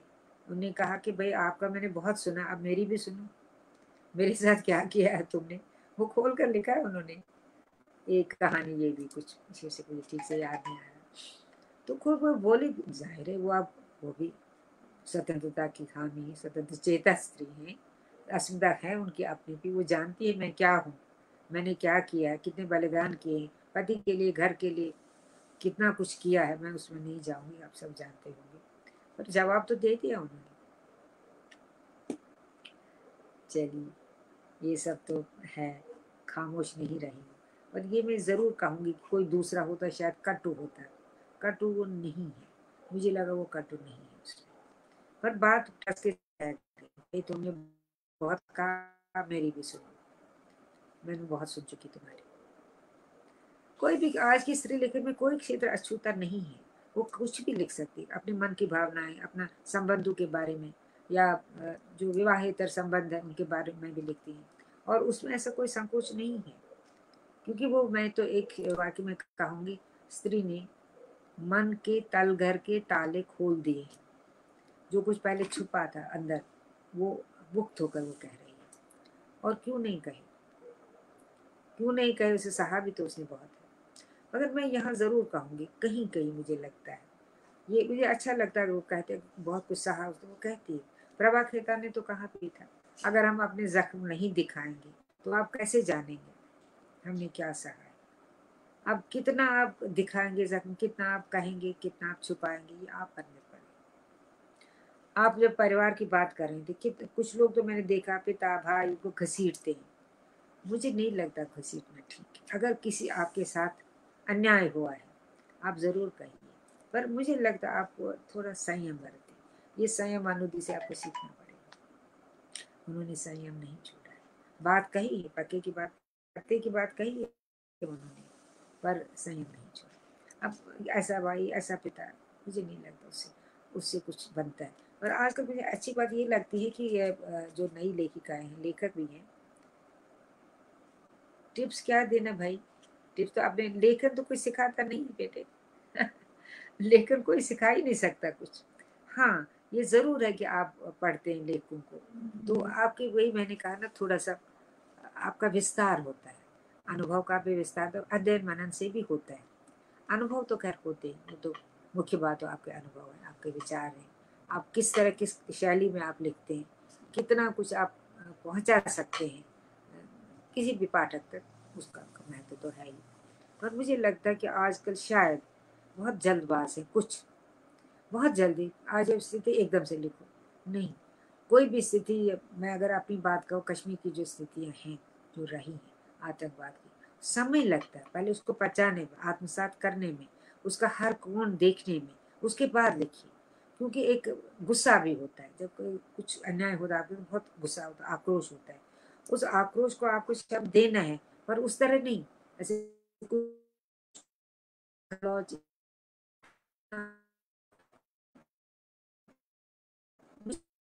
नहीं लगता आपको कर भी शब्द क्यों है आप धारा शब्दों का इस्तेमाल कीजिए, पर थोड़ा सा मुझे लगता है, मुझे लगता है संयम की ज़रूरत है। ये कम से कम जब मनु की बात कर रही हूँ तो मैं ज़रूर कहूँगी, उन्होंने संयम नहीं छोड़ा जहाँ तक मैंने उनको पढ़ा है। जीवन में बहुत कुछ घटा उनके भी सब जानते अलग भी रहने लगी थी। उतने निर्णय लिया नहीं भैया। आपका अपना विचार है मेरा अपना। आपका अपना तरीका मेरा अपना। मैं दबूँगी, दब भी नहीं, वो बहुत ज़्यादा। नहीं दबी। पर कहीं मुझे याद है जब कहीं जाना होता था तो दोनों राजेंद्र जी और मनु जी इकट्ठे जाती थी। कोई फ़ंक्शन होता था, खुशी की बात या दुख की बात, वो हमेशा जाते थे। स्त्री लेखन में मर्यादाहीनता पर मेरे ये कहना बड़ा मुश्किल है। मर्यादा का क्या अर्थ है? आप किसको मर्यादा कहते हैं? किसको देखिए, नैतिकता के मानदंड बहुत बदल गए हैं। क्योंकि कुछ तो विज्ञान ने, तकनीकी ने बहुत कुछ बदला है। पहले कोई छूते, मुझे याद है हमारे बचपन में कोई पुरुष आपको छूता था, लगा कहीं प्रज्ञा न रह जाए। ऐसा था। आजकल वो अंधेरा नहीं है। और अगर गलती से किसी प्रेम किया किसी ने तो डर तो रहता ही था कि प्रज्ञा न रहे कोई। आजकल वो डर भी नहीं है। तो नैतिकताएँ बदल गई, उसके मानदंड बदल गए लेकिन इसका मतलब नहीं है कि करुणा बदल गई है, प्रेम बदल गया। प्रेम है, करुणा है, प्रेम है। मानवीयता खत्म नहीं हुई है। पर जैसा कि समय है, मुझे लगता है आजकल मनुष्य केंद्र में नहीं आज का अर्थ केंद्र आजकल जो आर्थिक रूप से संपन्न है, किसी भी दृष्टि से, चाहे वो राजनीति में हो, समाज में, कहीं भी हो, संपन्न हो, वो ठीक है। जो आज भी दलितों की कंडिशन बहुत ज़्यादा अच्छी नहीं है। हालाँकि दलित लेखन भी अब बहुत प्रमुख आ गया है, पटल पर, लोग लिखते हैं। तुलसी राम तो बेचारे गुजर गए, काफ़ी अच्छा लिखा है। काफ़ी अच्छी कृतियाँ हमारे सामने आई हैं, जिन्होंने अपना दुख कहा है। मतलब ये आप कहिए कि जो बेजुबान थे उनकी ज़ुबान आने लगी, वो बोलने लगे। और ये बहुत ज़रूरी भी है, क्योंकि समाज कैसे बदलेगा? ये घुटन कहानी मुझे याद है वो घुटते रहेंगे घुटते रहेंगे तो बात तो बनेगी नहीं। समाज आगे बढ़ेगा, प्रगति भी करेगा। और ये ज़रूर है कि उस वक़्त आपको अपना संतुलन खोना नहीं है। आपके, अब देखिए, हर एक आदमी का अपना सच होता है। सच कोई सनातन चीज़ नहीं, बस बस सच है, बस यही सच है। नहीं, ये भी सच है। जो आपने मनोजी की कहानी पढ़ी, ये भी सच है। आप एक से नहीं, दो से प्रेम कर सकते, ये भी सच है। कुछ लोग नहीं भाई, प्रेम होता है धारणाएँ खत्म हो गई, बदल गई। महत्वपूर्ण वो नहीं, महत्वपूर्ण में कितनी मानवीयता बची है, कितना सौहार्द बचा है। प्रेम प्रेम में, प्रेम मात्र शरीर तक ही सीमित नहीं है। प्रेम बहुत, मुझे लगता है बहुत ही विराट, बहुत ही विस्तार देने वाला, आत्मविस्तार देता है। मैंने कहानी लिखी थी, चुप्पी की धुन। वो पढ़ी आप नहीं पढ़ी तो ये नहीं है कि बस आपने किसी से बात की तो प्रेम किया तो हो गया। पहले ज़माने ये भी था, पर जब मनुदी का खासकर जब लिखा है उन्होंने, सवाल नहीं उठता तो कोई खासकर बहू या बेटी भी किसी लड़के के साथ, जैसे उन्होंने कहा उस कहानी में त्रिशम को शायद है वो उनको लगता है, क्या, क्यों जाती क्या करती शाम को क्या करती सुबह क्या करती घर में बुलाती लो अच्छा अच्छा बनती चलो उसको बुलाओ घर में, बातचीत करो मेरे सामने। और वहाँ भी छुप के सुनती क्या बात करती? क्योंकि वो बात गई नहीं दिमाग से, क्या कर, कुछ गलत ना करे। अरे भैया, तुम सही गलत कर डिसाइड करने वाले कौन हो? अगर लड़की पढ़ी लिखी है, ठीक है, आपको दिशा देना है, उसको सिखाना है, जब बच्ची है, आपको उसमें माने मूल्य भरने हैं, उसको बताना है सही क्या है, गलत क्या है। पर बाद में जब वो बड़ी होती है तो अपने आप वो निर्णय लेती है। उसको समझ आती है, उसकी बेटी भी कहती है, कहती माँ, कुछ तो मुझ पर भी छोड़ो। मैं भी समझती हूँ अच्छा क्या है मेरे लिए, बुरा क्या है? और आज की स्त्री जानती है, क्योंकि उसके अनुभव का भी विस्तार हुआ है और खासकर तकनीकी में अब कितना ग्लोबलाइजेशन है, कितना सिमट बिल्कुल छोटा कर दिया है विश्व आप यहाँ कुछ होता, आप जानते हैं, कौन क्या करता है। अभी आपके प्रेसिडेंट कौन थे पहले प्रेसिडेंट आपके अमेरिका के, उनकी पत्नी क्या नाम था अभी याद नहीं आएगा जल्दी से। ये निशानी होती है बुढ़ापे में। तो वो कहते हैं कि स्त्रियाँ मात्र घर के लिए नहीं बनी है। अभी अभी उनका वीडियो मैंने देखा तो कुछ कुछ समय पहले। आप ऐसा मत सोचिए, अच्छी गृहिणी, अच्छी पुत्री, अच्छी बहन है। उसके अलावा भी वो कुछ है। वो अपनी, उसकी अपनी एक अलग अस्मिता है। उसका आदर करना। स्त्री यही चाहती है। स्त्री आज क्या चाहती है? वो चाहती है, आप मुझे भी मनुष्य मानिए। मुझे क्यों खानों में बांटते हो जैसा आपका दिमाग है, मेरा भी है। कोई कमी नहीं है मेरे दिमाग में। तो उसको एक नज़र से देखो। मुझे पूज मत मानो, मुझे ज़रूरत नहीं है पूजने की। मैं स्त्री जो देवी है, सरस्वती है, लक्ष्मी है, वो वो मैं नहीं हूँ, मैं तो मानवी हूँ। मनुष्य की तरह मुझसे ट्रीट करो। यही मैं समझती हूँ, और ये होना भी चाहिए। मुझे लगता है धीरे धीरे परिवर्तन होता है समाज में, पर कुछ गलत चीज़ें भी आती हैं। क्योंकि मैंने आपको कहा ना, जब हमारे मन में गुस्सा होता है तो हम चाहते हम बदला लें। मन में चाहते आप किसे बदला लेंगे पूरी से कैसे बदला लेंगे? अरे भाई, वो आपका पिता भी है, आपका भाई भी है, आपका प्रेमी भी है। हर हाल में उसके साथ छुटकारा नहीं है। तो उसके साथ आप संबंध अच्छे बनाइए। और मैं तो पुरुषों से भी क्या कहूँगी उनको, मुझे लगता है स्त्रियाँ ज़्यादा बदली, पुरुष इतना नहीं बदला है। ये बड़ी दुख की बात है। नई बहुत मुझे लगता है, नई बहुत में जब अपनी नाती पोती को देखती हूँ तो मैं तो वो बहुत बदले हैं। हमारे ज़माने में, मेरे ज़माने में भी पुरुष ज़्यादा काम नहीं करते। कश्मीर में तो नहीं, वो वो मालिक था घर का, स्त्री जो भी, चाहे नौकरी करती हो, कुछ भी करती हो, वहाँ आके कपड़े वपड़े मतलब चेंज करो और घुसो किचन में, करो जो भी करना है। एक कप पति चाय बनाए तो वो, अरे ये तो बड़ा, क्या बोलते हैंड पैक्ड हस्बैंड है। तो वो ज़माना गुजर गया। मेरा ज़माना भी गुजर गया, बड़े हो गए हम। लेकिन हमारे बच्चों का ज़माना है। मैं देखती हूँ मेरा नाती है, शादी भी हो गई उसकी। बहुत अच्छा लगता है। हर बात में वो अपनी से सलाह कोई काम वो करता नहीं, उसकी सलाह पूछने के बिना मगर ये नहीं, मेरे जो ससुर जी थे, वो भी बहुत उनको हैंड पैक्ड बोलते थे।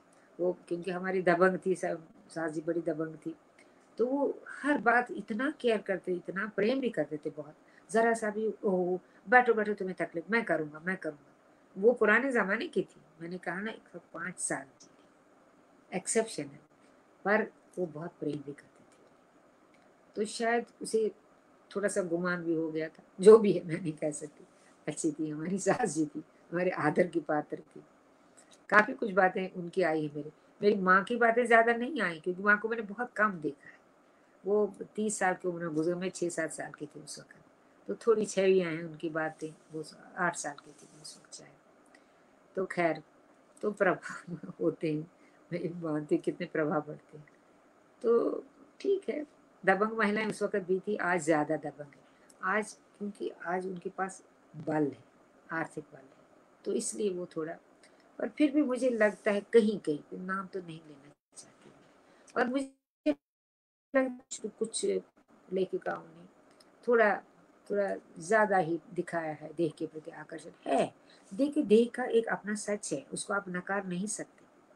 हम नहीं कहते कि देह नहीं है, वो वो है। पर आप कहाँ तक, कैसे उसका इस्तेमाल करते ये आप पर है। आप अपनी, आपकी चेतना भी तो है। आप सोचिए, आप क्या चाहती हैं? स्त्री को अपने आप, इतनी शक्ति है, उसमें वो सोचती है। अब मर्यादा का जो अर्थ आप माने, मान लीजिए। मर्यादा तो ये है कि भाई, आप किसी का दिल मत दुखाइए।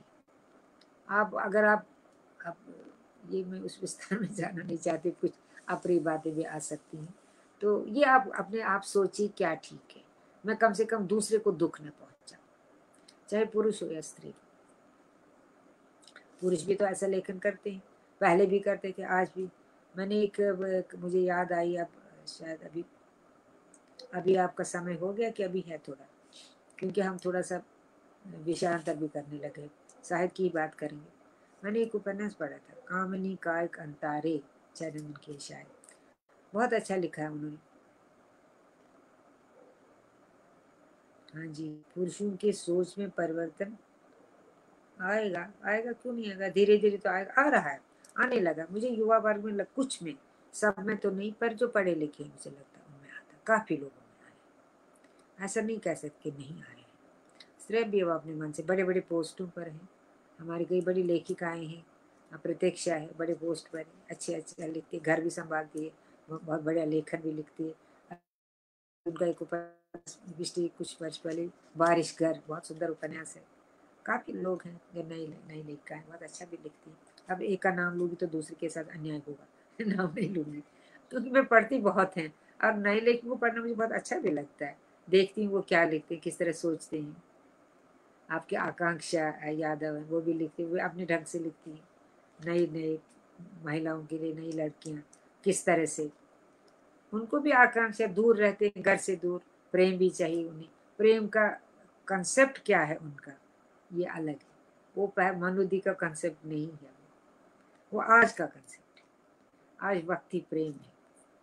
आज प्रेम, वो लाला मजनू प्रेम तो खैर हमारे वक्त भी नहीं था, बहुत पहले था, पर वो नहीं है। वक्ती है। ज़रूरत के संबंध है। पर इसमें मैं एक बात ज़रूर कहूँगी। ज़रूरत के संबंध शायद विवशता है समय की। पर यहाँ भी आपको सोचना है। वहाँ पर कई पात्र हैं, आकांक्षा के कई वो तीन स्त्रियाँ वो कुछ तीन नाम याद नहीं आ रहा, उनको तीन लड़कियाँ इकट्ठे रहती हैं। अब रहते हैं, घर से दूर रहती हैं, उनको भी प्रेम की ज़रूरत पड़ती है। तो कोई कोई कोई बूढ़ा है, कोई जवान है कोई कुछ, कोई फ़र्क नहीं पड़ता। ये बस ज़रूरत है ज़रूरत है। इस हद तक कि प्रेम को सीमित करना ठीक नहीं। वो एक तरह से उसका अवमूल्यन होता है। प्रेम कहाँ वो नहीं होता कोई एक एक बंदा उसे कहता अच्छा वो कहता मैं अपने बच्चों की शादी करूँगा, तब तुमसे विवाह करूँगा। बच्चों की शादी करेगा, तब उस लड़की से शादी करेगा। वो पागल लड़की उसको धक्का मार के बाहर क्यों नहीं फेंकती? मुझे बताइए। जो इस तरह से सोचेगा तो ऐसे भी लोग हैं और ऐसी भी कहानी लिखी जा रही हैं। पहला ये तस्वीरें हैं की ऐसा भी लिखा जाता है बहुत अच्छी चीज़ें भी लिखी जा रही हैं। मैंने बारिश घर का ज़िक्र किया प्रतीक्षा का मुझे वो अच्छा लगा। उसमें एक संतुलन है। वो वो पुरुष को नकारती नहीं है। पुरुष की ज़रूरत है। बच्चों को पिता की ज़रूरत है माता पिता दोनों की। शकुन शकुन की बंटी के साथ भी तो यही समस्या है। उसको दोनों चाहिए, दोनों साथ चाहिए। वो शायद शायद एक बार ऐसा समय आए मधु मेहता हाँ जी, सुधा। आप सबका स्वागत है, आपका भी स्वागत है। तो समय बदलेगा, समय के साथ हमारे विचार बदलेंगे, पूरा माहौल बदलेगा। लेकिन मुझे ये फिर भी मैं मानती हूँ, समय कितना भी कठिन हो, कठोर हो, है बहुत है। आजकल स्त्री के लिए तो इतना आसान नहीं है, कांटे पद पर हैं। लेकिन मुझे लगता है वो सामना करना सीख गई है। मेरी आवाज़ कहानियाँ पढ़ी, कई कहानियाँ, शरणागत दीनाथ पढ़ी वो कहानियाँ हैं कि उसके बलात्कार भी होता उसमें उसमें अपने को वो दोषी नहीं मानते, खासकर आतंक में। आतंक में अगर, वैसे भी आप तो जानते हैं कितने केसेस अब दिल्ली के आसपास अगर देखें कहाँ पर बहुत कुछ होता है। उसमें ज़्यादा विवरण में मैं नहीं जाऊँगी। लेकिन वो अब नहीं, वो वो अपने को दोषी नहीं मानती, क्योंकि उसका हाथ नहीं वो उसकी इच्छा से नहीं हुआ है। और वो उस, जो पहले खत्म होती लड़की वो वो अपवित्र हो गए घर वाले भी कहते किसी काम भी नहीं, हमारे छोड़ो उसको। घर वाले भी छोड़ देते थे। बल्कि शरणागत दीनाथ कहानी में मैंने यही कहा है। एक लड़की जो बेचारे आतंकवादी उसको ले गए। बेचारे पता नहीं कैसे भी घूमते बच्चा लेकर वो आ गई, ढूंढते डांटते। अपने घर वाले भी निकल गए थे। निष्कासन तो आप जानते हैं, कश्मीर में हुआ। वो टेंटू में थे, कहाँ थे, कहाँ कहाँ से उनको ढूंढती है। ढूंढ ढूंढ कर आकर वो मिलते हैं एक टेंट में एक रहते हैं वो। वो काफ़ी काफ़ी सारे टेंट है वहाँ पर। वो रहते हुए जाके उसको बड़ा अच्छा लगता है, कम से कम मुझे अपना माता पिता मिल गया, मगर उसके गोद में एक बच्ची है। घर वाले उसको कैसे एक्सेप्ट वो तो उनका तर्पण भी कर चुके उन्होंने कहा, वो गई तो गई, हमारे लिए मर गई उसके लिए दरवाज़ा नहीं खुला, मुझे सुधा का एक कविता है, एक दरवाज़ा खुल, उसके लिए खुला रखना है। वो दरवाज़ा नहीं खोल सकते। वो बेचारी माँ तो रोते हुए कहती पिता कहता है कि भाई इसका क्या दोष है? अब बेचारी ऐसा हुआ। भाई कहता नहीं अब तुम्हें आना तो इस बच्चे को वहीं छोड़ देते फेंक देते। लेकिन वो माँ भी है। वो कहते मैं जानती हूँ। लेकिन मैं तो माँ हूँ। मैंने तो उसको अपने पाला है। मैंने उसको खून के साथ सींचा है। मैं कैसे इसको छोड़ देती? पर उसको शर, शरणागत दीनार्थ है ये कहानी। उसको जो बाकी लोग, वो भी दुखी हैं, उनके भी साथ भी बहुत जुल्म हुआ, पर वो इतने निर्मम हो गए हैं, क्योंकि दुख में आदमी कभी कभी बहुत निर्मम हो जाता है, वो स्वार्थी हो जाता है, कि उसको अपना लाभ देखता, दूसरे का नहीं देखता, इस तरह मानवता का क्षरण होता है। वो नहीं सोचते कितनी दुखों के बाद आई है, इसको तो हमें शरण देनी चाहिए, पर नहीं दे सकते। आवाज़ कहानी में मैंने बच्चे को लेकर आते, वो तो बल्कि मार मोर कर आते उनको, उसके अंदर बहुत गुस्सा है। घृणा है। तब तक वो उनको ठीक है, सेवा करती है बाद में मार मोर के चली जाती। पर बच्ची को वो फिर जब भाग, भागती भागती, बच्ची को एक जगह पहुँचती है थोड़ा उनसे दूर। उनके लगता है मेरे पीछे पड़ेंगे तो मार देंगे, उसको छोड़ेंगे नहीं वो। तो वहाँ पर एक ठंडा पत्थर है, ठंड, उस पर रखती है उसको बच्चे को। तो बच्ची को ठंड लगती है, वो चीखती है, चिल्लाती है। तो क्योंकि वो जब आतंकवादी के साथ वो रहती है तो बच्ची को मारना चाहती है। वो कहते हैं, नहीं इस बेचारी को मत मारो। इसको मत मारो। तो कहते, नहीं, मैं उसका मुँह बाँध दूँगी। वो चुन्नी से ज़ोर से उसका मुँह बाँध देती। उस बेचारे की घुट जाती, आवाज़ नहीं निकलती। मधु भी है। हाँ मधु, तुमने पढ़ी है शायद शरणागति ना तो उसका मुँह इतना बाँध देती, उस बेचारे को सांस लेने में दिक्कत होती है। वो आवाज़ नहीं निकाल पाती। उसकी आवाज़ बंद कर दे। ये हमारे समाज का था। अभी भी तो खैर मैं कहती हूँ, इतना नहीं है, पर है। काफ़ी जगह ये भी है। स्त्रियों की आवाज़ उठाने नहीं देते। पर वो उसको बच्चे को रखती तो फिर वो पूरा खोल देती उसके उसको अच्छा उसके ऊपर खूब पानी उछालती है चिल्ला चाहती वो चिल्लाए ज़ोर ज़ोर से कि घुटन जो अंदर है वो बाहर निकालना चाहती है। यही है आज की, आज का स्त्री लेखन। जो दबा घुटा है भीतर, वो बाहर निकाल आता है। वो कैसे निकालते हैं, क्या करते हैं, ये तो प्रभा खेतान को पढ़िए। वो कहते हम अपने जख्म दिखाएँगे, तभी तो आप समझेंगे। अब हम नहीं दिखाएँ, आप कहते अरे, क्या सा? ये तो सब सहते हैं। आपने क्या सा? तो हर एक का अपना सोच है, अपना सच है, उसको व्यक्त करने का अपना तरीका है। तो मगर मुझे उम्मीद है कि लोग जानते हैं वो क्या करते हैं। पर अब सिखा नहीं सकते किसी। और ये भी है कि अब जब स्त्री की बात करें, लेखन की बात कर रहे हैं, जब मधु मेरे सामने है इस वक्त तो लेखन का दायरा भी बड़ा है। अब वो बताइए, पता नहीं किस किस की कहानियाँ लिखती है। आतंकवादी भी नक्सलियों के किस बीच भी जाकर लिखती है। तो इसलिए अब तो घर में बंद तो है नहीं। वो तो मनु दिन उसको पहले ही निकाल दिया था घर से, नौकरी के बहाने। तो अब वो बहुत आगे बढ़ गई है। तो हर शोषक शोषक, जो भी शोषित है, उसके पक्ष में स्त्री खड़ी है। ये बहुत अच्छी बात है। कोई भी हो, गाँव का हो, समाज का हो, किसी दलित का हो तो ये एक मैं बहुत, आज के लेखन में ये देखती हूँ। पर ये मनु जी ने भी जब मैंने कहा, स्त्री का परिवार ही नहीं है महाभोज कहानी है, उपन्यास है। उसमें राजनीति भी है, दलित भी है, दलितों के साथ अत्याचार भी है पर साथ में कुछ पात्र हैं जो थोड़ी उम्मीद दिखाते हैं, जो ईमानदार है। तो मतलब कहने का ये है कि अभी भी मानवीयता में विश्वास बरकरार रखना है। हालाँकि कठिन है, बहुत कठिन है। कई लोग मुझे ये ये प्रश्न करते हैं जो बड़े समीक्षक हैं। तुमने कथा से लिखा, वहाँ वहाँ तो मारा मारी ही है, वहाँ कुछ क्या कहूँगा? उसमें कौन सी रोशनी दिखाऊँ? जब चारों तरफ़ काली बर्फ़ कहानी मेरी पड़ी, चारों तरफ़ अंधेरा है। कोई किसी का नहीं है। स्त्री खाली देह, उसको भोगना, चिथड़ा करना मारना अब मैं यह कौन सी, कहाँ से संत निकालू? लेकिन लेखक ऐसा तो उम्मीद करते, भाई, आपको तो दिखाना है इसमें। क्या दिखाऊँ भाई? शरण का मैंने दिखाया। उसका पिता है बेचारा। कहानी तो वही खत्म होती जब उसको निकाल देते, कहते, नहीं, तुम यहाँ नहीं रह सकते। वो बेचारी बच्चे को लेकर जाती है। पर उसका पिता मैंने दिखाते वो पिता बेचारा गायब हो जाता घर से, वो लस पंडित नाम से। सब लोग कह रही क्या हो गया? वो कहाँ गया? वोट वोट लिया, अपना लेकर चला जाता है। तो मैंने ये नहीं बताया वो कहाँ गया, क्या गया।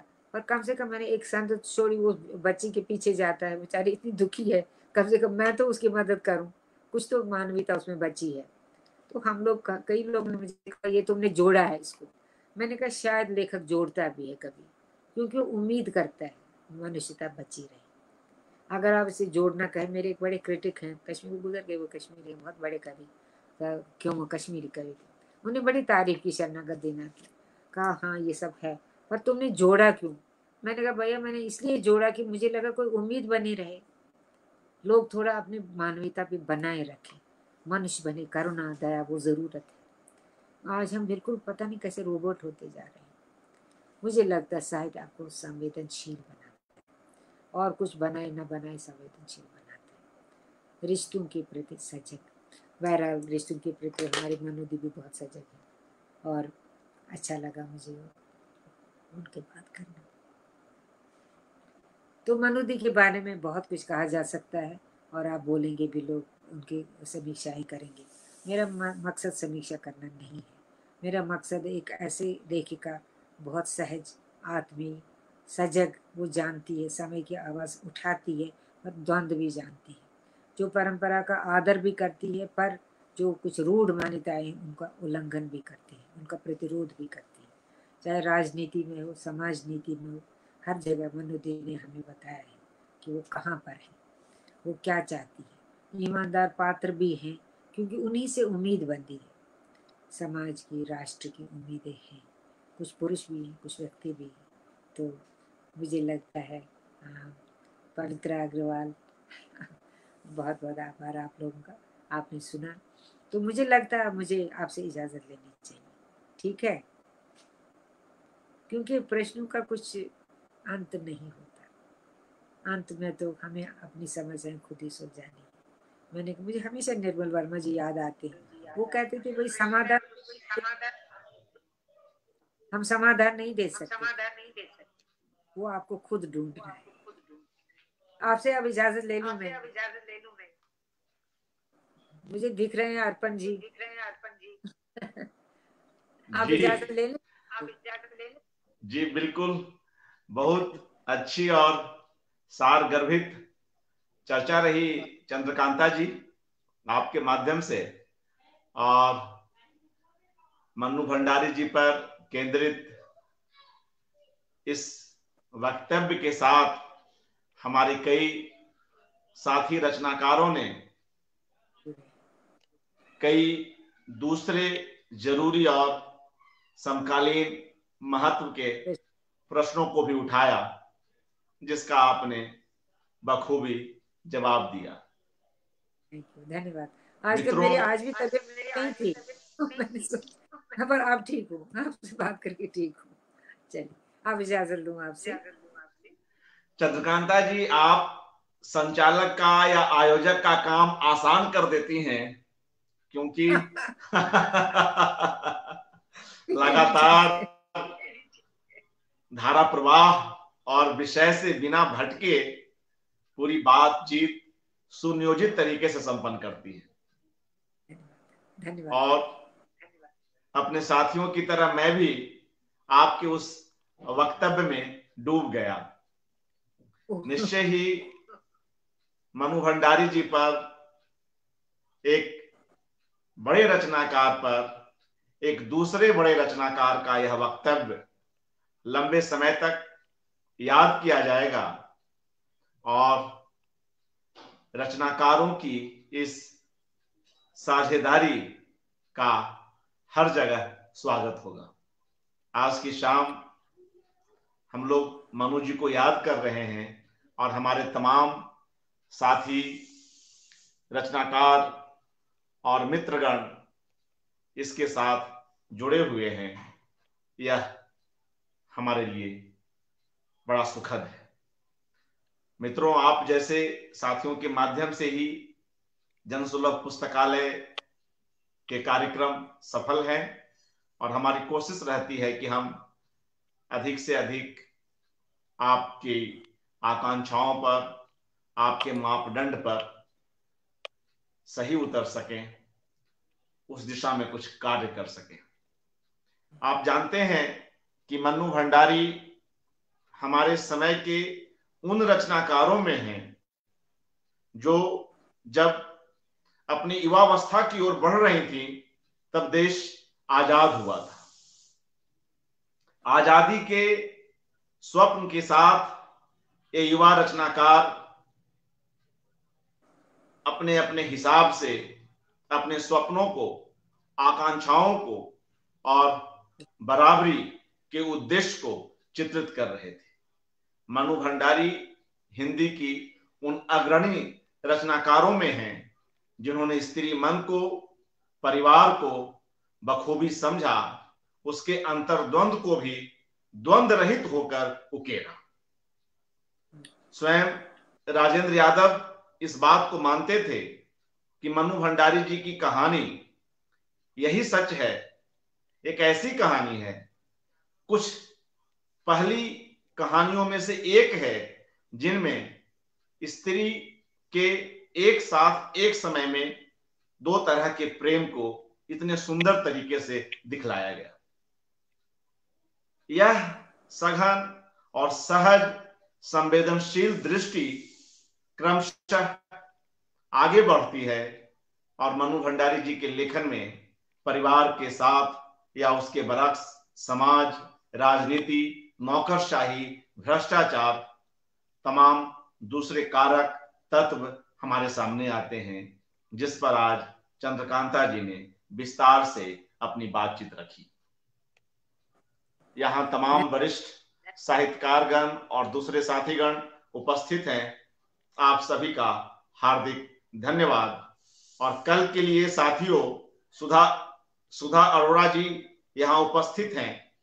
उन्हीं की इच्छा थी उन्हीं का निर्देश हुआ कि लंबे समय से मनु भंडारी जी के साथ जो उनका ध्यान रख रही हैं और जिस तरह से नर्सिंग कर रही हैं, उनकी देखभाल कर रही हैं, और रचना जगत में भी कुछ सक्रिय हैं, हम उन रत्ना सिंह को भी यहाँ पर बुलाए। तो मित्रों, कल मनु भंडारी जी की देख रेख में लंबे समय से अपना समय दे रही रत्ना सिंह हमारे साथ होंगी, और वे मनु भंडारी जी के कई पक्षों को उनके वर्तमान को हमारे साथ साझा करेंगे। आप सभी साथीगण यहाँ उपस्थित रहे। आपका हार्दिक धन्यवाद। चंद्रकांता जी, आप समय निकाल सकें। इसके लिए आपका भी शुक्रिया। शुभ रात्रि मित्रों। सबको नमस्कार।